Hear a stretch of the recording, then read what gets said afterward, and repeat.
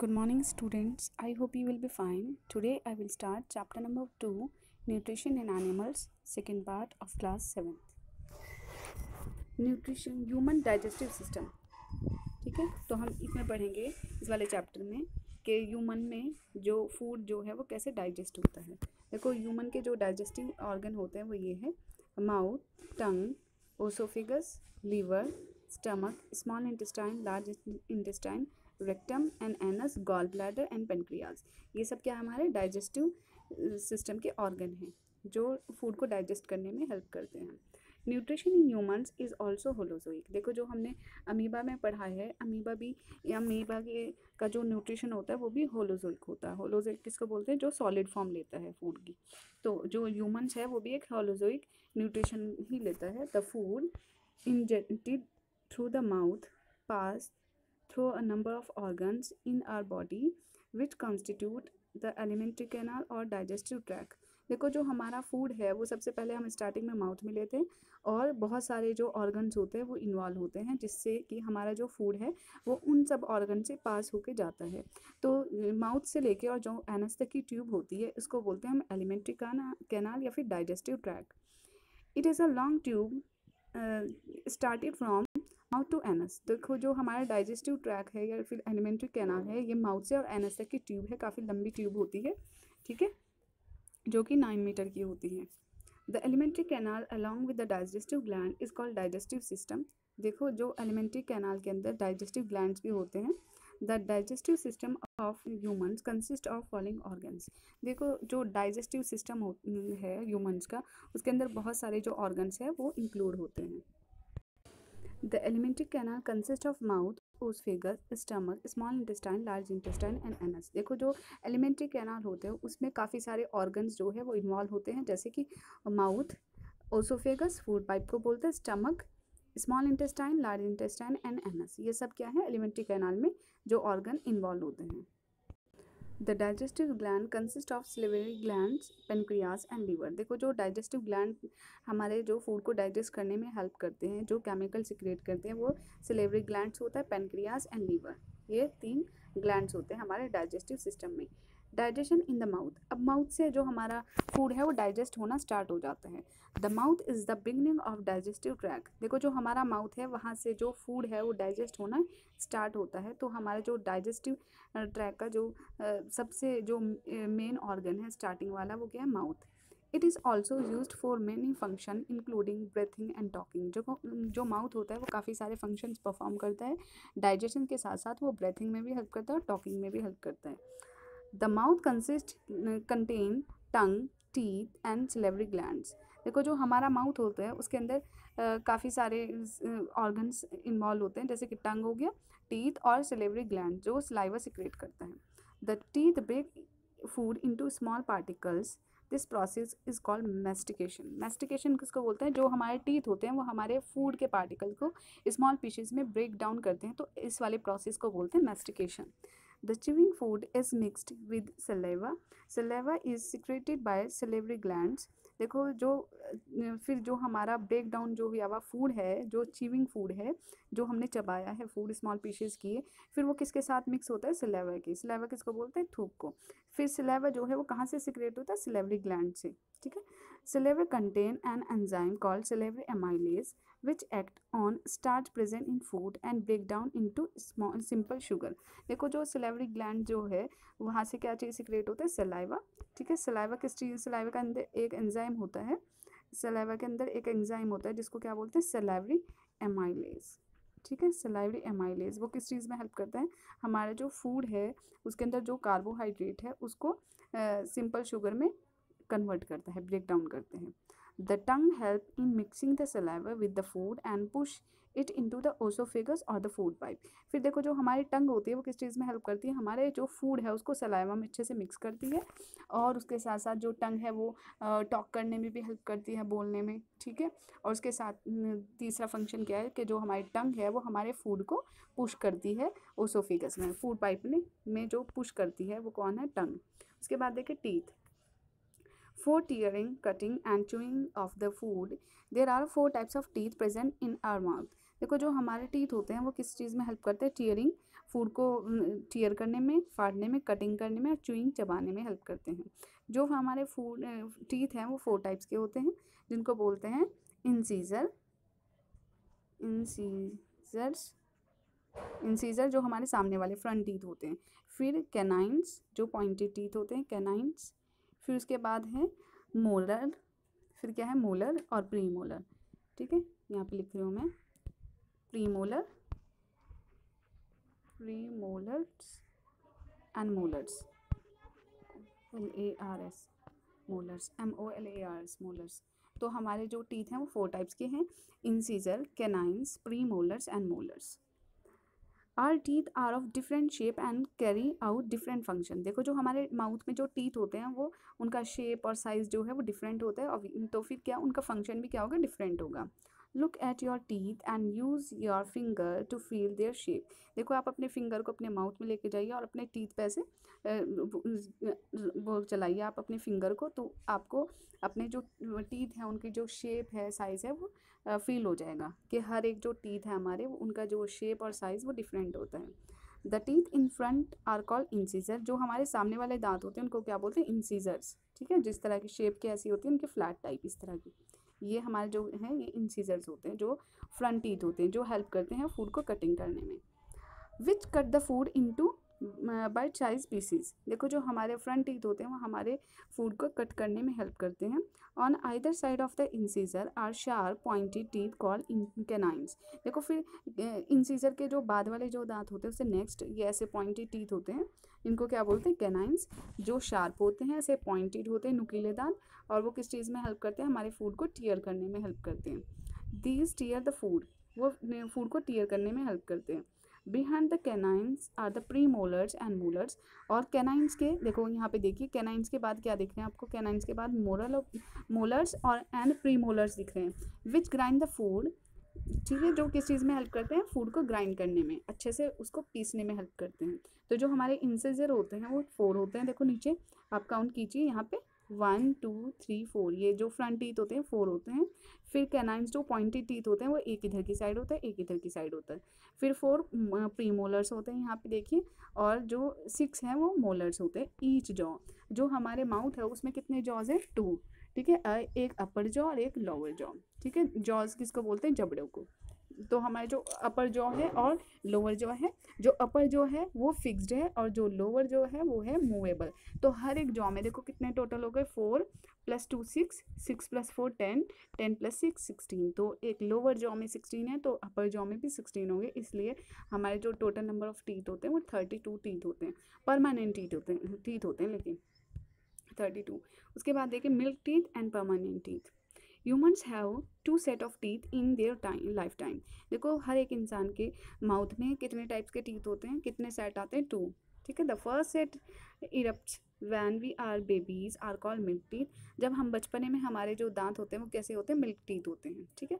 Milk teeth last until we are about six years old और जो हम eight years old जो हमारे मिल्क टीथ होते हैं, वो कब तक चलते हैं? हमारे एट ईयर्स तक, ठीक है? There are twenty milk teeth जो मिल्क टीथ होते हैं वो ट्वेंटी होते हैं। टेन इन ईच जॉज नीचे वाले जॉ में भी टेन और ऊपर वाले भी, जॉ में भी टेन तो टोटल कितने होंगे? Twenty teeth. मिल्क टीथ है लेकिन ये, जिनको बोलते हैं टेम्परेरी टीथ। तो milk teeth are replaced by second set of teeth, are called permanent teeth. This permanent set contain thirty two teeth, sixteen in each jaw.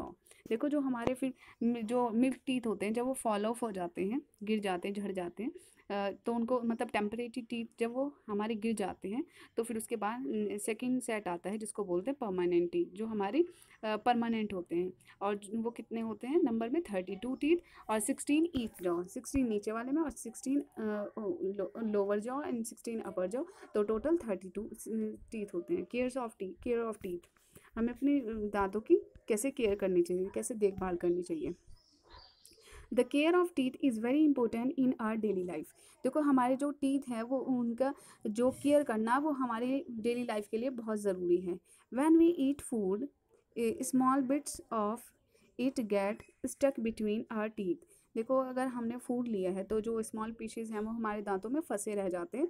Sometime these bits of food stay between our teeth if we do not brush our teeth carefully out uh, we do not brush our teeth carefully देखो जो हमारा food है जैसे हमने खाया तो हमारे जो फ़ूड पार्टिकल्स है वो हमारे दांतों में फंसे रह जाते हैं अगर हमने उसको प्रॉपर जो ब्रश नहीं किया अपने दांतों को ठीक है?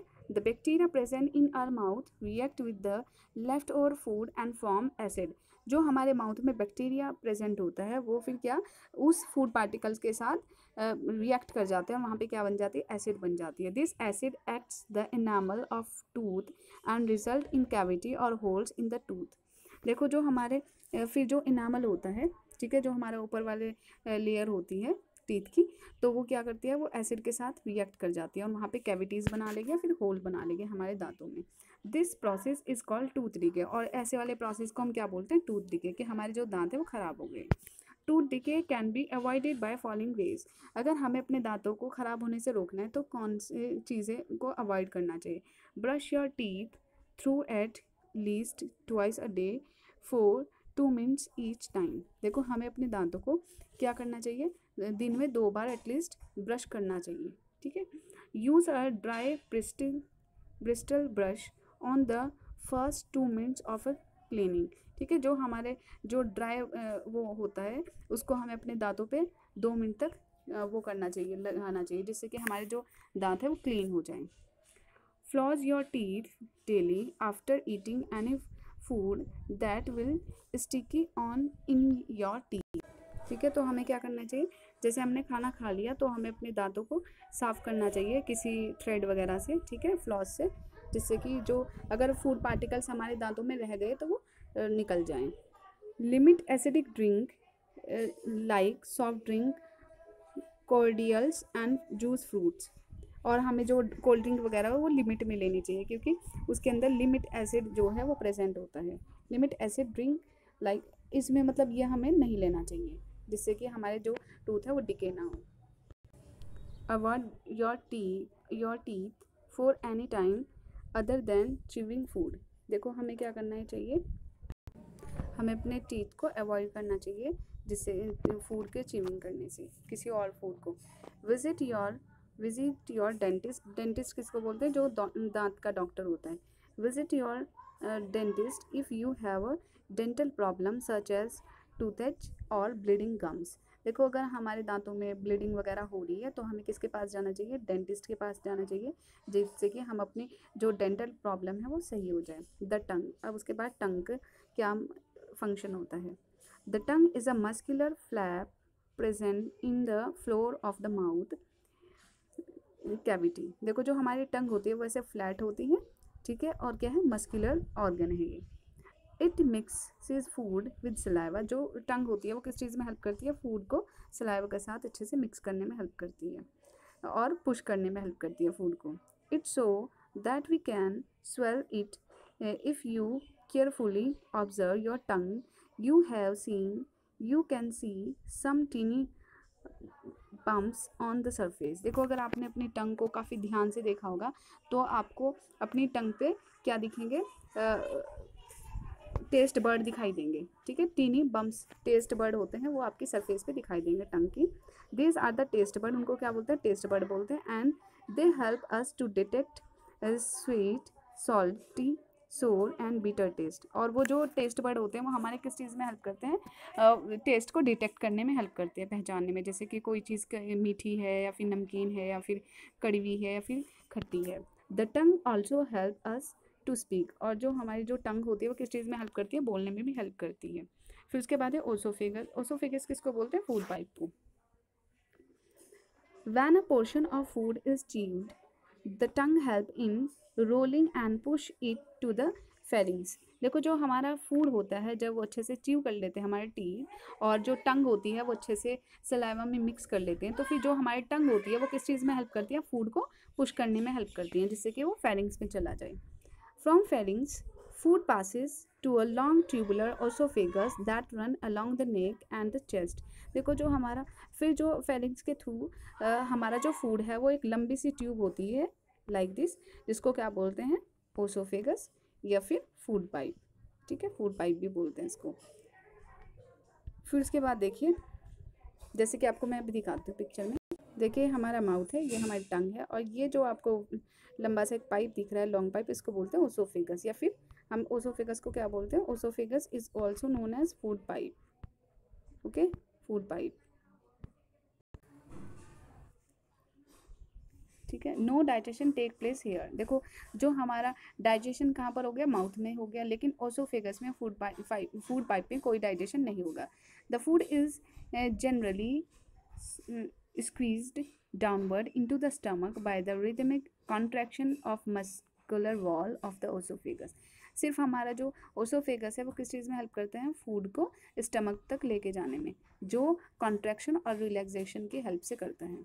This type of movement is called peristalsis and occur throughout the alimentary canal देखो, जो हमारा फ़ूड पाइप का जो मूवमेंट होता है कॉन्ट्रैक्शन और रिलैक्सेशन होता है हमारी मसल्स उसको बोलते हैं पेरिस्टेल्सिस मूवमेंट ठीक है, जो कि एलिमेंट्री कैनाल में होता है और ओसोफेगस में भी होता है।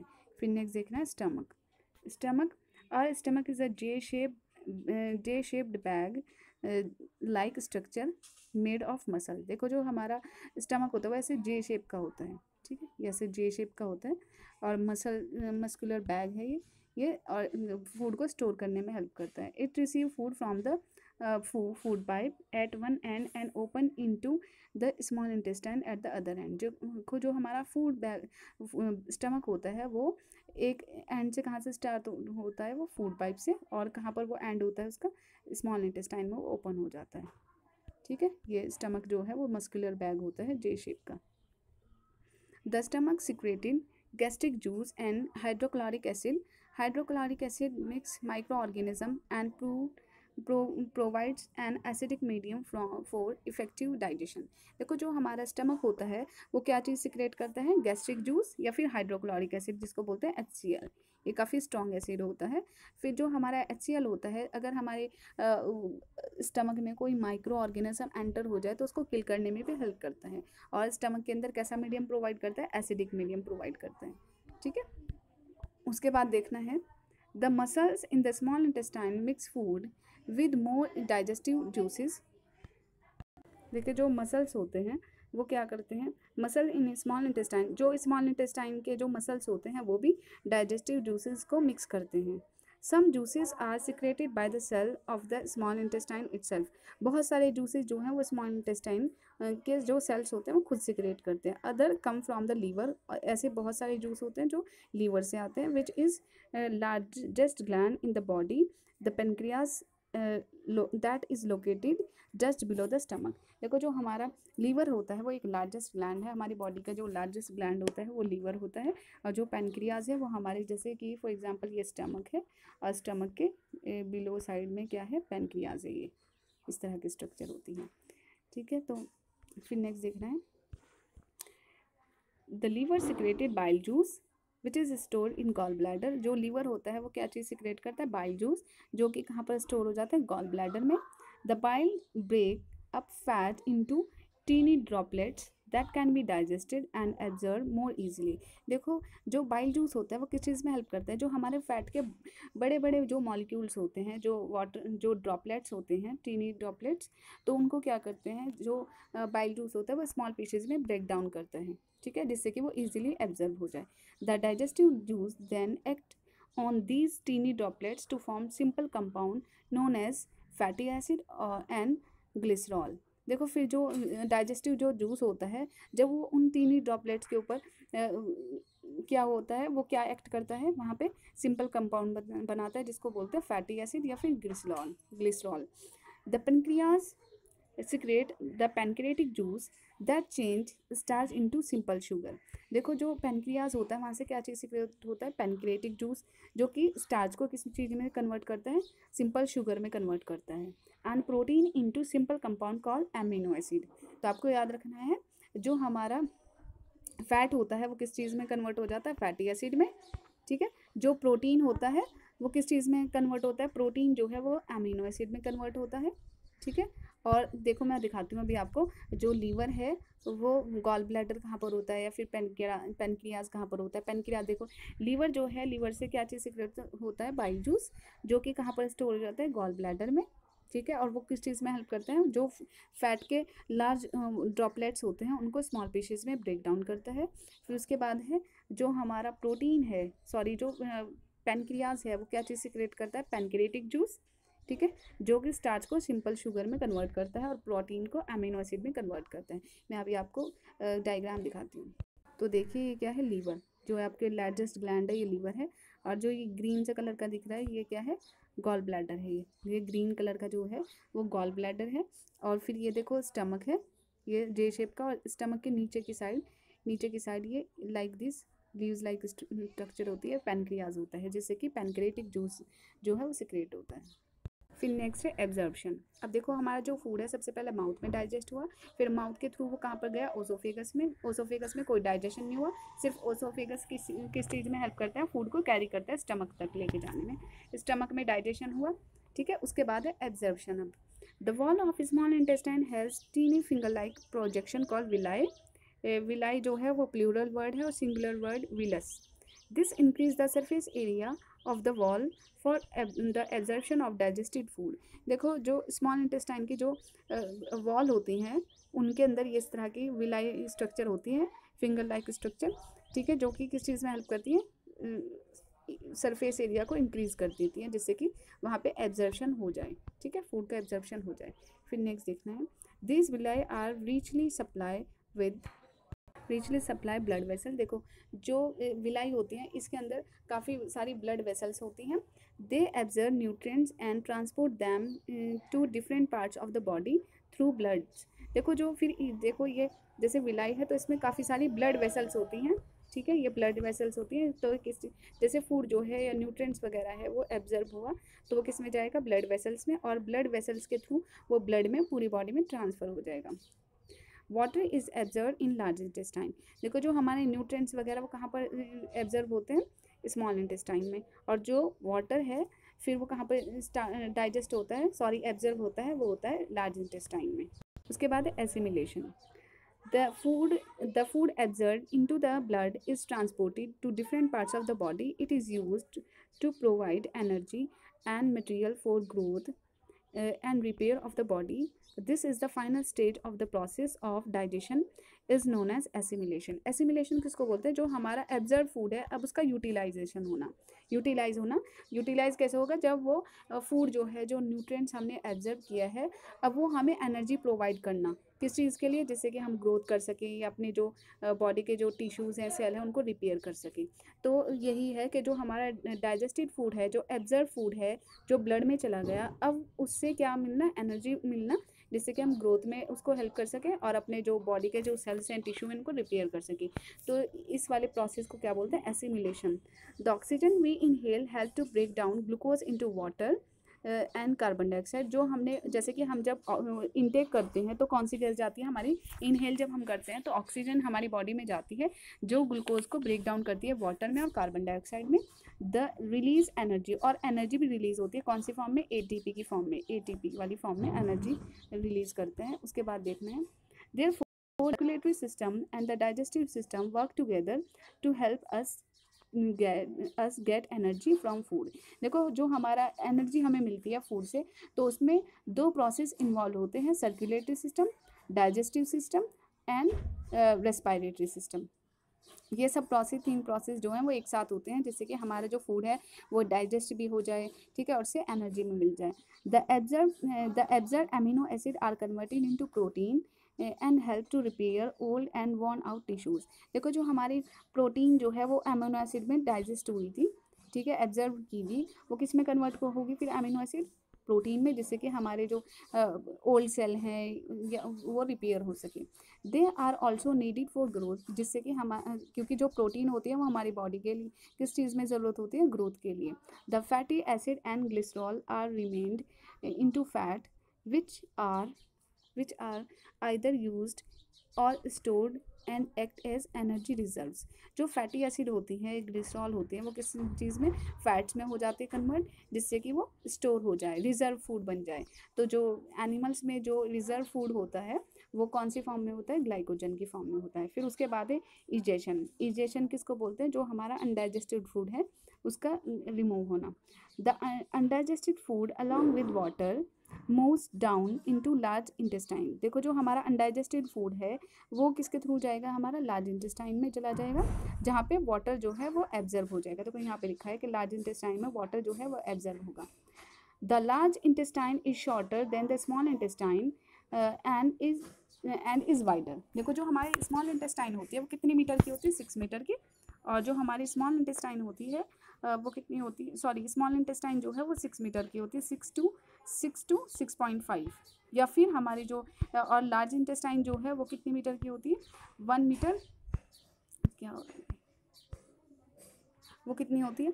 One to one point five metre की होती है। कौन लार्ज इंटेस्टाइन अब लार्ज इंटेस्टाइन जबकि छोटी होती है स्मॉल इंटेस्टाइन जो है वो बड़ी होती है। तो ऐसा क्यों? क्योंकि जो लार्ज इंटेस्टाइन होती है, वो विर्थ में ज़्यादा है, ठीक है? उसकी चौड़ाई जो है वो ज़्यादा है और स्मॉल इंटेस्टाइन जो है वो थीन है। अगर उसको चौड़ाई में देखा जाए। लेकिन अगर लेंथ में देखा जाए तो जो स्मॉल इंटेस्टाइन है, वो लार्ज है और जो लार्ज इंटेस्टाइन वो छोटी होती है। ठीक है? फिर देखना है यहाँ पे कितने मीटर की दी हुई है the large intestine is shorter than the small intestine and with this is about sixteen metre in length and six metre width it absorb water and useful material from the water, watery masses of undigested food remains देखो ये क्या करता है? जो large intestine होती है, वो small होती है साइज़ में क्योंकि जो उसकी बस चौड़ाई है ज़्यादा लेकिन लेंथ में वो कम होती है और वो क्या करती है वाटर को या फिर और जो यूज़फुल मटेरियल्स हैं उनको डाइजे उनको एब्जर्व करती है और फिर उसके बाद अनडाइजेस्टेड फ़ूड है वो स्मॉल इंटेस्टाइन में रहता है the undigested food material become semi fluid and is then faces. It pass uh, through the large intestine and is stored in the rectum. It get expelled out from the body through anus at a periodic interval देखो जो हमारा फिर अनडाइजेस्टिड food जो है, वो largest style में कहाँ पर स्टोर होता है? रेक्टम में। और रेक्टम के बाद वो जब हमारी बॉडी से रिमूव होता है, वो तो एस के थ्रू होता है। रूमिनेंट एनिमल किसको बोलते हैं? Ruminant animal ruminant are whose plant eating animal that get their food in two step some example are cow buffalo goat and sheep ये सब क्या है, हमारे रूमिनेंट एनिमल होते हैं, जो हार्बिवोर्स एनिमल में पाए जाते हैं। इनके बॉडी में टू स्टेप होते हैं, जैसे कि काउ बफेलो ये सब। तो टू स्टेप्स जो हैं, वो कैसे होते हैं? The ruminant first eat the food and regurgi and regurgitates a semi digestive food call cud देखो, इसमें क्या होता है कि जो ये एनिमल होता है, जो रूमिनेंट जो एनिमल होते हैं, वो क्या करते हैं?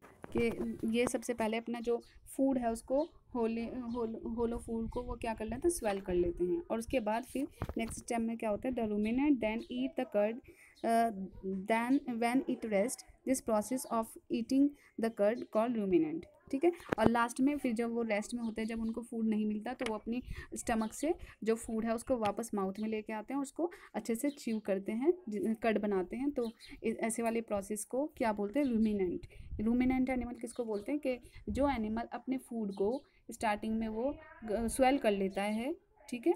अपने स्टमक में और उसके बाद फिर वो स्टमक से वापस अपने माउथ में लेके आ जाते हैं। और उसको अच्छे से च्यू करता है तो ऐसे एनिमल को रूमिनेंट एनिमल बोलते हैं। Ruminants have specific special stomach with four chamber these chamber are rumen reticulum omasum and abo abomasum देखो इनके जो स्टमक होते हैं फोर चैम्बर फोर पार्ट्स होते हैं ये सब पार्ट्स हैं। तो ल्यूमिन क्या कौन सा पार्ट है? Lumen is the largest chamber of the stomach it is mainly use for storing the food जो रूमेन जो चैम्बर है वो सबसे बड़ा चैम्बर होता है इसलिए स्टमक का। और इसमें क्या होता है? इसमें फ़ूड जो है वो स्टोर होता है। From the rumen the food enter the second chamber call reticulum in fact the rumen and reticulum are closely associated and their contents mix freely देखो जो रूमेन और रेटिकुलम है, वो क्या है? काफ़ी क्लोज हैं और जो उनका कंटेंट है, वो मिक्स भी हो जाते हैं। In these two chamber the food is partially digested and convert into soft pulp call cud देखो, इन दोनों चेम्बर में क्या होता है? जो फ़ूड है, वो पार्शली डाइजेस्ट होता है। वो किस चीज़ में कन्वर्ट करते हैं? कड में कन्वर्ट करते हैं। ठीक है? By passing the two first chamber जब दोनों इन स्टार्टिंग वाले चैम्बर से जब पास हो जाता है it enters the third chamber फिर वो किस चीज़ में एंटर करता है? थर्ड फिर वो थर्ड चैम्बर में एंटर करता है, जिसको बोलते हैं omasum where food is broken down into still smaller pieces excess food is absorb फिर क्या होता है? इस वाले चैम्बर में थर्ड चैम्बर में कि जो फ़ूड है, वो स्मॉल पीसीज में ब्रेक डाउन होता, हो जाता है और जो एक्सिस फ़ूड है, अगर वाटर है, अगर फ़ूड में एक्सिस वाटर है तो उसको एब्जर्व किया जाता है। Finally it enters the fourth chamber the finally it enters the fourth chamber फिर वो किस चीज़ में, कौन से चैम्बर में एंटर करता है? स्टमक के फोर्थ चैम्बर में मतलब लास्ट चैम्बर में एंटर करता है, जिसको क्या बोलते हैं? The abomasum which is true stomach enzyme act upon the food and digestive digestion progress और इस वाले में ये क्या है? इसका ट्रू स्टमक है। इसमें एंजाइम्स होते हैं जो फ़ूड को डाइजेस्ट करने में हेल्प करते हैं। uh, that's all for today. You should find the book work and also question answer. Otherwise i will send you.